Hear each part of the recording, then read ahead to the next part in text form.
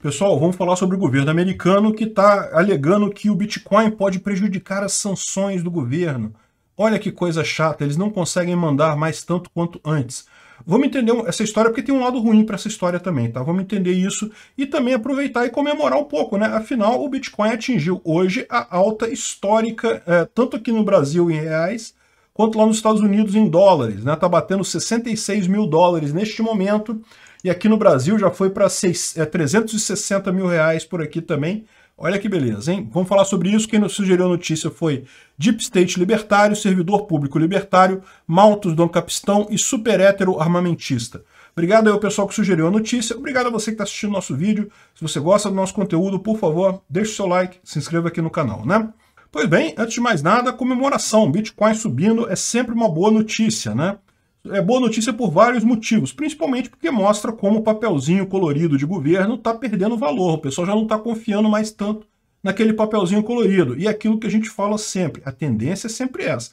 Não é que o Bitcoin vai subir direto assim, não. Ele vai sempre descer, cair, subir de novo, cair, subir de novo. Mas a tendência no longo prazo, meu amigo, é uma só. Até hoje, a gente pode dizer isso agora, porque estamos na alta histórica, ninguém é, perdeu investindo em Bitcoin. E o prazo que você leva para isso, se você for ver, é tipicamente quatro anos, é cada halving, ali tem um ciclo bem conhecido do Bitcoin para esse tipo de coisa. Muito embora, no final das contas, isso seja muito mais função da perda de valor das moedas é, fiat, das moedas baseadas ou lastreadas em honestidade de político, do que qualquer outra coisa. Né?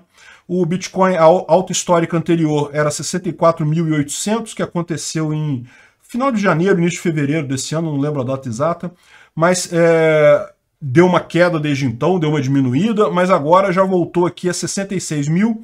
E é, para onde é que vai? A gente não sabe, eu falei para vocês, ela teve essa alta por conta. É, por vários fatores, é sempre por vários fatores, nunca é um fator só.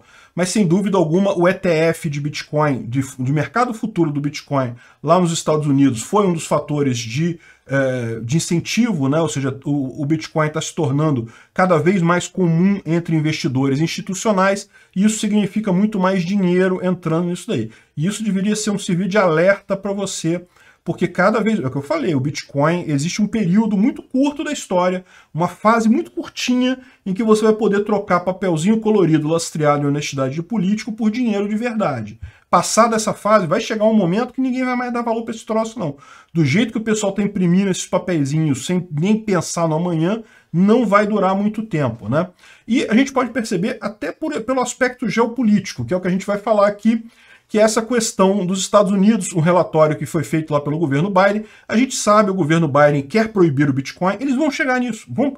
O pessoal fala comigo assim, não, mas o Bitcoin, uma hora o governo vai proibir coisa. É lógico que vai proibir. Já teve um monte de governo que proibiu. É evidente que o Biden vai proibir o Bitcoin em algum momento, ou vai regular fortemente o Bitcoin em algum momento. A questão toda é justamente essa. O Bitcoin é imune a esse tipo de coisa. O governo não consegue proibir Bitcoin. Os governos fazem um absurdo para tentar proibir o Bitcoin e não conseguem. Lá na China está tendo um grande escândalo porque eles proibiram os grandes mineradores que tinha lá por conta da energia elétrica. Né? Agora fica mais claro que o problema lá foi muito maior, foi a questão da energia elétrica, eles estão passando um aperto grande lá por questão de produção de energia. Daí eles baniram o Bitcoin. O que começou a acontecer agora? Eles descobriram vários funcionários, até do Partido Comunista Chinês, que mineravam em casa, que tinham pequenas mineradoras em casa. Você consegue derrubar uma grande mineradora? Consegue, porque uma grande mineradora é um prédio enorme, tem um monte daquelas maquininhas de minerar e coisa e tal. Ali você consegue, o governo consegue bater na porta ali, se quiser proibir. Se todos os governos do mundo quiserem proibir a mineração, essas mineradoras grandes vão acabar, porque não tem onde botar essa mineração. Onde é que vai botar? É um escritório grande, uma, um galpão enorme, um monte de máquina, gasta energia pra cacete não tem onde botar aquilo, o governo vai bater na porta, vai, vai parar. Isso quer dizer que vai morrer o Bitcoin? Não, porque eles não têm como impedir você de minerar na sua casa. O pessoal vai lá, bota duas, três plaquinhas ali minerando e pronto. E o Bitcoin ele tem ajuste de dificuldade, então se todas as mineradoras grandes acabarem, vai acabar sobrando mais para os mineradores pequenos. Seria até ótimo isso, na verdade.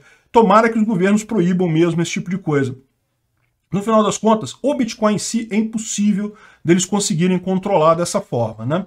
E é, que eles vão tentar fazer alguma coisa, vão, tentar regular fortemente, inventar um monte de história. Inclusive, esse pessoal grande que está comprando Bitcoin aí certamente vai entrar é, é, é querendo a ajuda do governo. Lembra, é, é, é, aristocracia socialista, ligada a governos, vão querer esse negócio de forma unificada com o governo.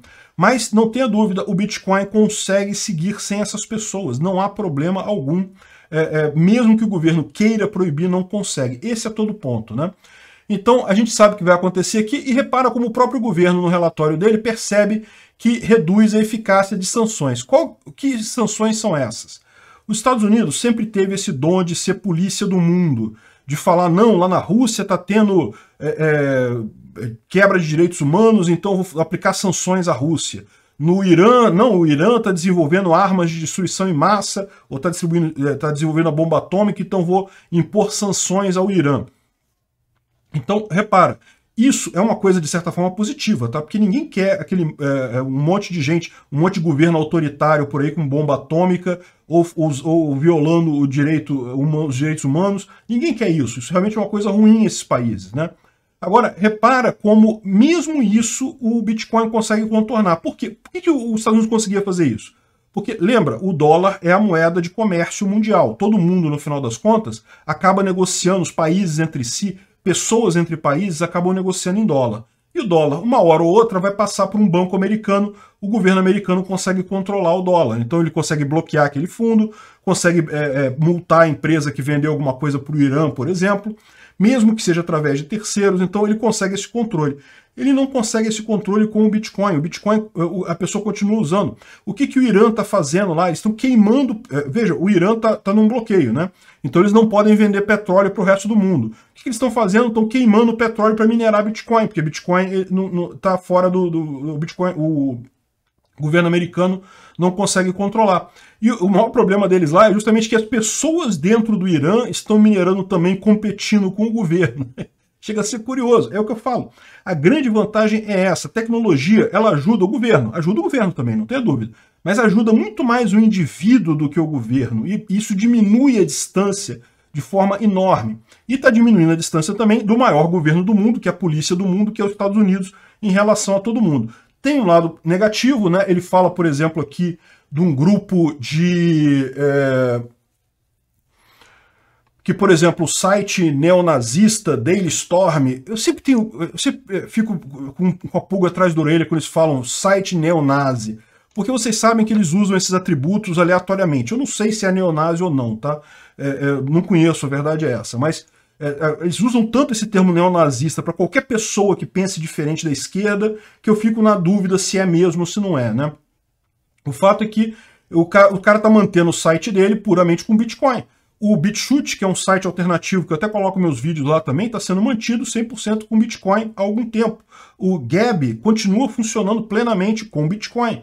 Ou seja, é, essas punições de Estado, e inclui nessa punição a censura, a briga do Estado contra a opinião que não é interessante à facção política que está lá, isso tudo é, continua valendo justamente devido ao Bitcoin. Repara como isso tira poder do Estado, já tirou o poder do Estado, né?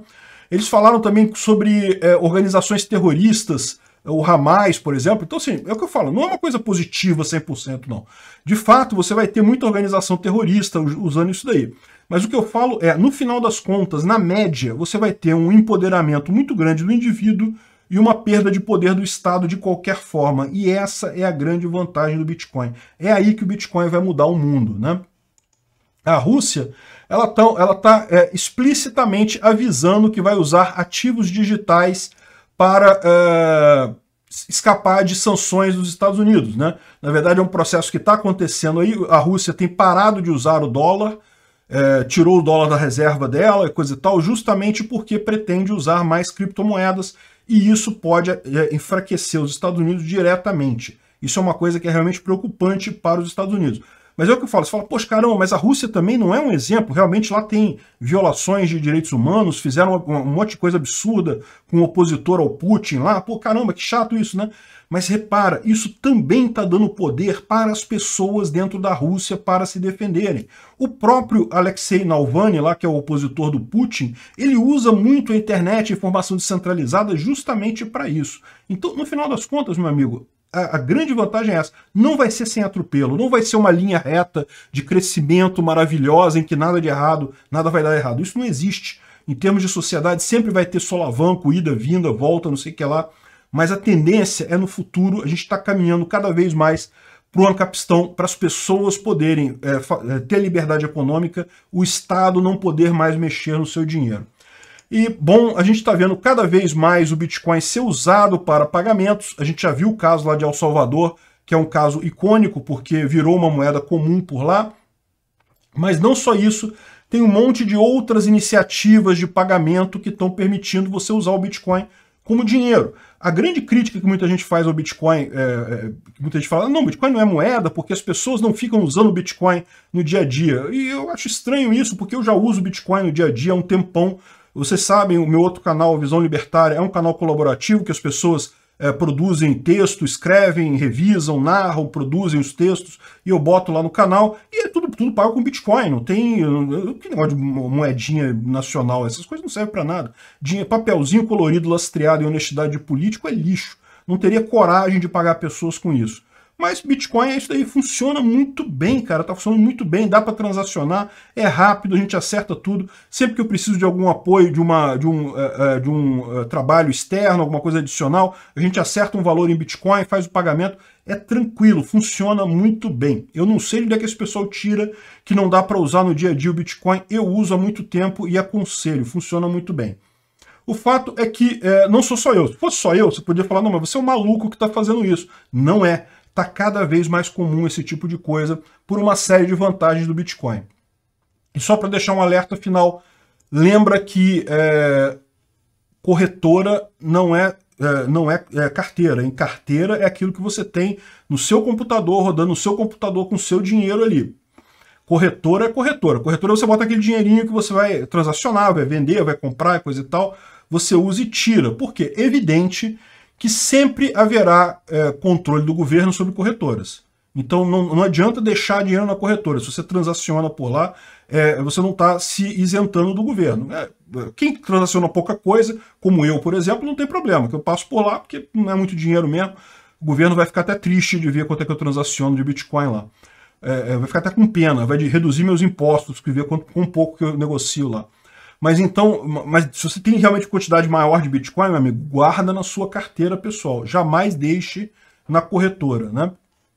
É, aqui está o caso da, da Binance que bloqueou 20 clientes a pedido da polícia. Não tem jeito. E aqui pode dizer que, ah, não, isso aqui era uma investigação de crime, coisa e tal. É, pode ser que seja uma investigação de crime, e crime, vocês sabem, se for invasão de propriedade privada, agressão, esse tipo de coisa, é crime na ética libertária também. Vai continuar sendo crime.